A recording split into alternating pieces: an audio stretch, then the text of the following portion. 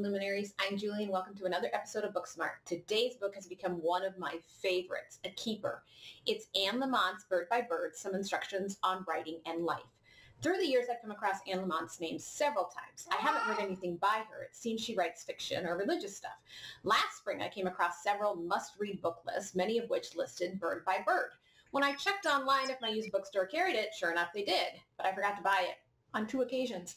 It was still there all those months later. Part of the reason I didn't remember to buy it, other than my age, is because I didn't set it with the other memoirs or biographies or even in the general nonfiction.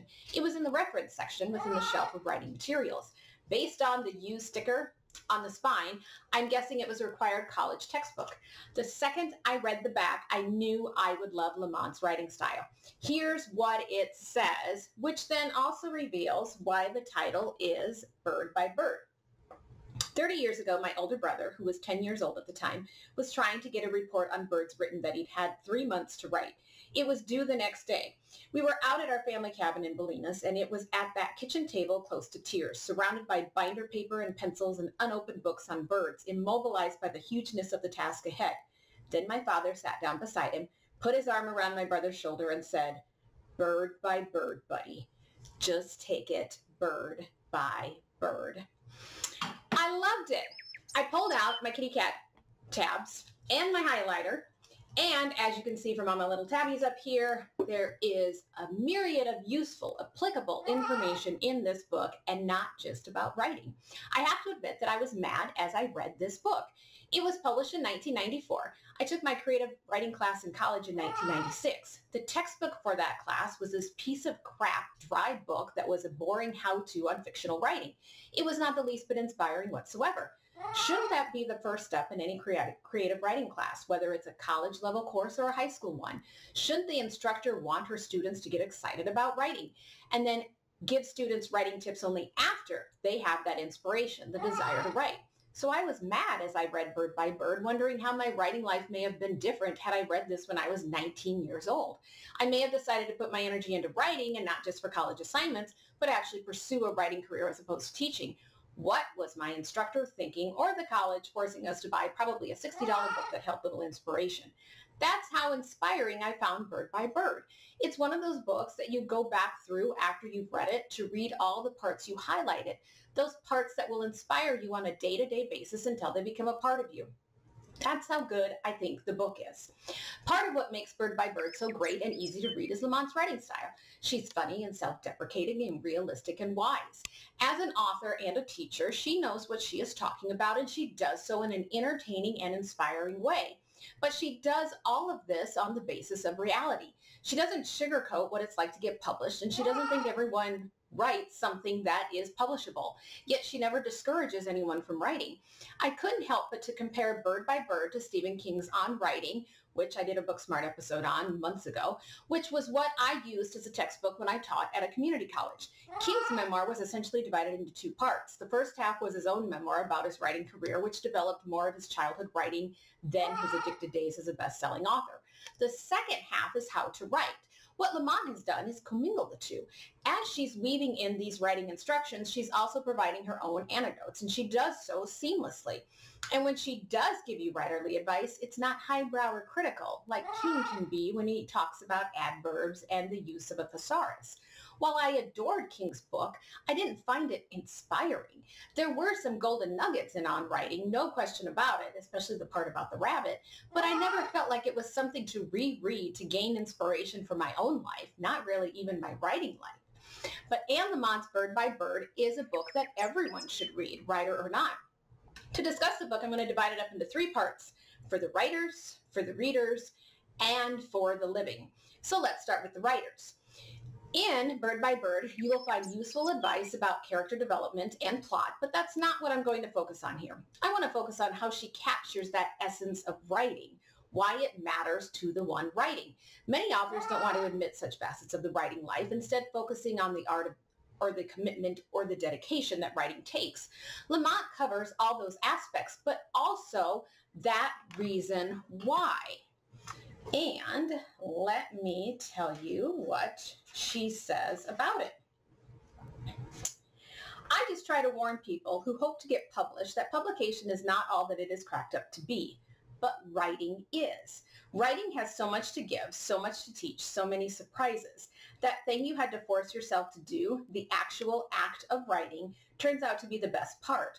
It's like discovering that while you thought you needed the tea ceremony for the caffeine, what you really needed was the tea ceremony. The act of writing turns out to be its own reward. And writers may even go from wanting to have written something to just wanting to be writing, wanting to be working on something. Like they'd want to be playing the piano or tennis because writing brings with it so much joy, so much challenge. It is work and play together. Writing is a joy in and of itself.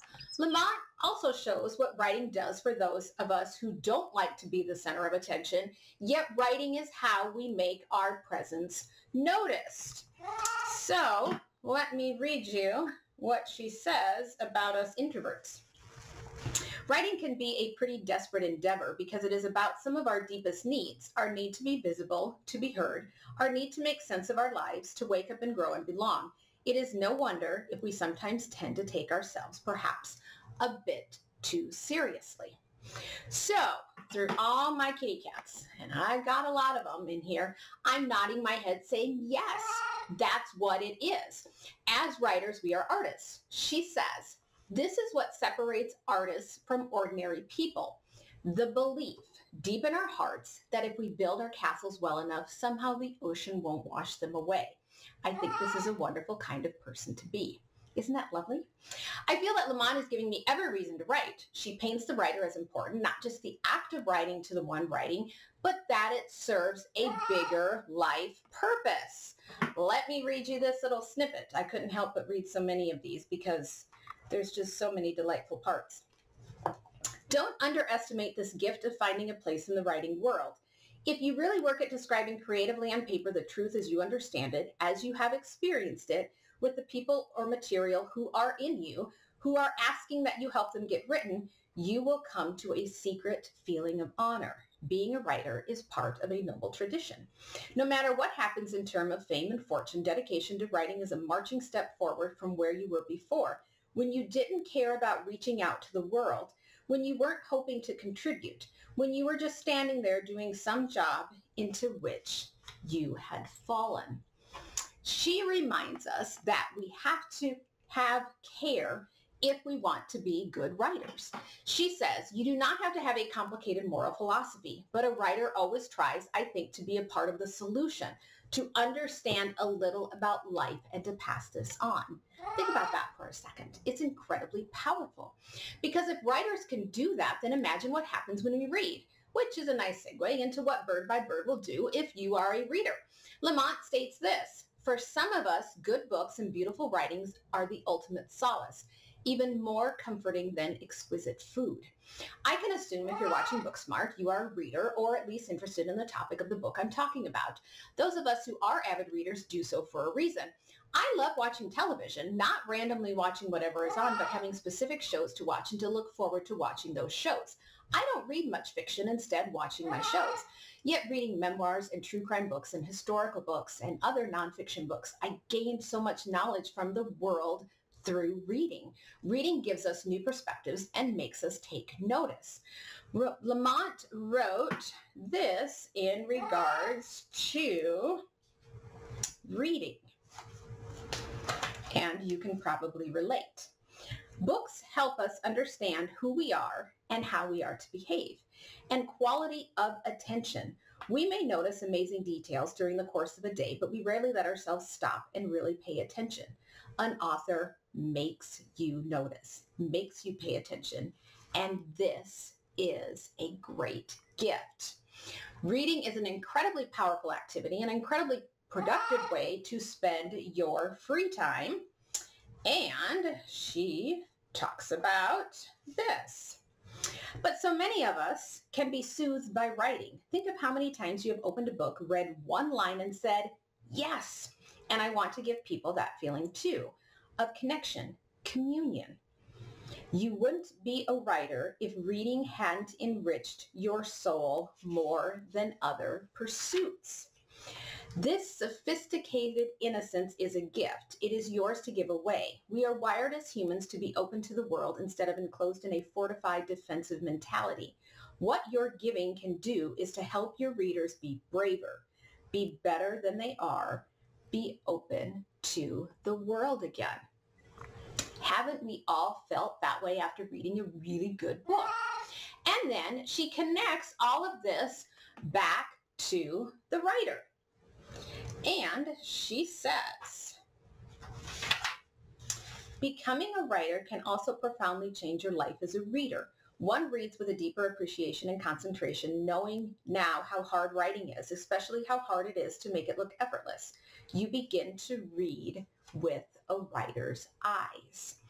And then when we put all this reading and writing together, Lamott bestows upon us great gifts with how to live our lives. And this is what is applicable to anyone. So let me read to you some of her words of wisdom.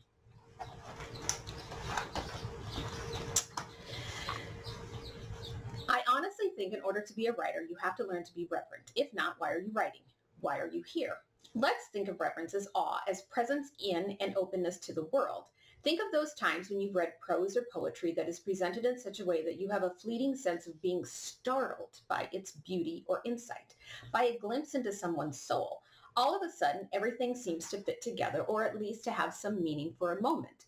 This is our goal as writers, I think, to help others have this sense of, please forgive me, wonder, of seeing things anew, things that can catch us off guard, that break in our small bordered worlds.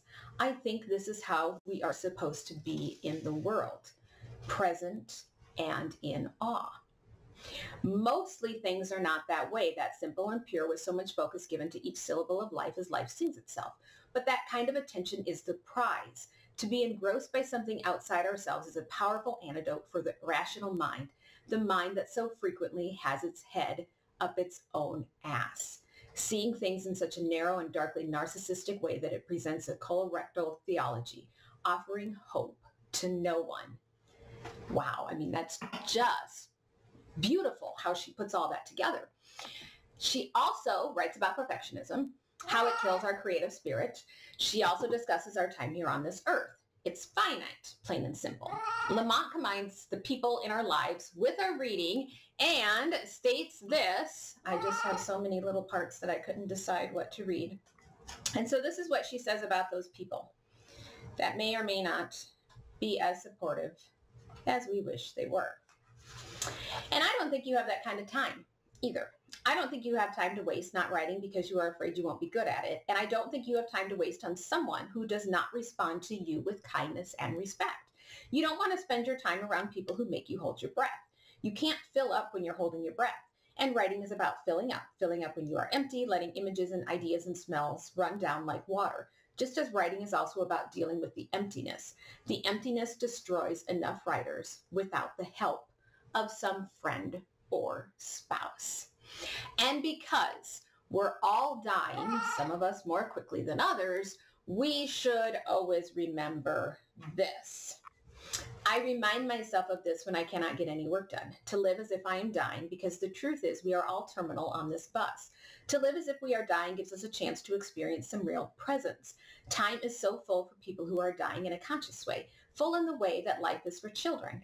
They spend big, round hours. So instead of staring miserably at the computer screen trying to will my way into having a breakthrough, I say to myself, okay, hmm, let's see, dying tomorrow. What should I do today? We do need reminders and tricks as we live our one and only life.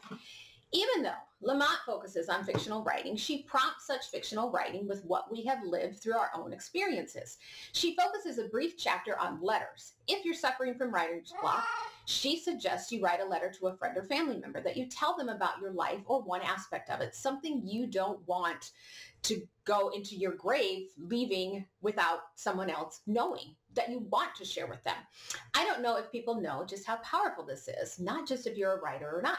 But if you are a writer, remember, this is how Laura Ingalls Wilder started her novel writing career. Sure, Wilder wrote for the local newspaper for years, but she sat down at her desk and wrote Pioneer Girl originally for her daughter Rose. Then she had Rose shop it around to publishing houses. When that failed, Rose suggested to her mother to revise Pioneer Girl, which turned into those Little House books. And if the Little House books didn't exist, I would have never had the joy of watching Little House on the Prairie. And finally, I would like to focus on Lamott's school lunches chapter, a powerful activity she has her classes complete. According to Lamott, writing and school lunches are similar in that, and I quote, the longings and dynamics and anxieties are so similar. As you read this short chapter, you will reminisce about your own school lunches, how that said so much about you and your family, the pecking order in society, and create a wonderful snapshot of life, a showing versus telling moment, which is what good writers should do. Thanks to that school lunches chapter, I wrote a delightful chapter for another memoir I'm writing. Lamott's Bird by Bird is worth your time and money. It's one of those little wise books to hold on to and then maybe pass it on once you've aged out of it and give it to someone else, not just to a writer or a reader, but someone you care about. I'm going to end this episode with a magnificent passage from Lamott as part of her last chapter, which she calls The Last Class.